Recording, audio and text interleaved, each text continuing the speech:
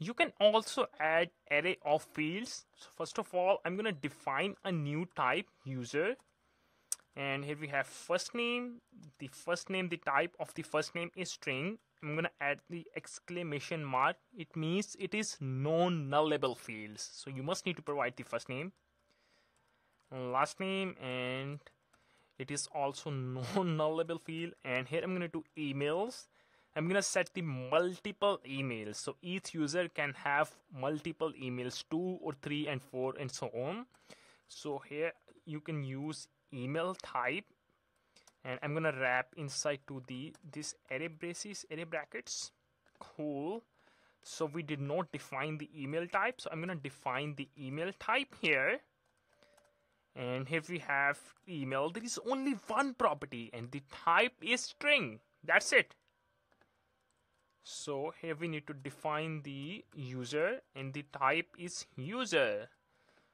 Right now we don't have any resolver for the user. So i'm to define a new user resolver. Resolver it will a callback function and it will return the object. And here what you need to do first name we need to define the first name. First name is jane and you also need to define the last name I'm gonna choose Doe and Jane can have multiple emails. So e multiple emails will be an array.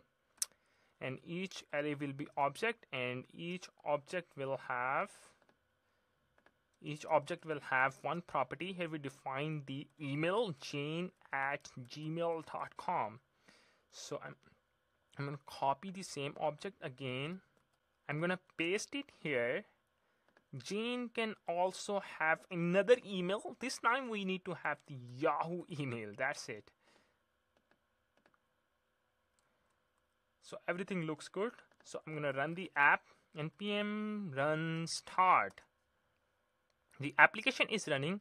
Now let's test it from the browser GraphQL localhost colon 3000 GraphQL now what I need to do I need to find the user. Okay. If you will see the query type query type and here we have the user type. There is first name last name and emails. I would like to fetch the first name. I also want to fetch first name last name and emails. Emails is an array when you define all the emails. Incredible. This is the user and each user will have two emails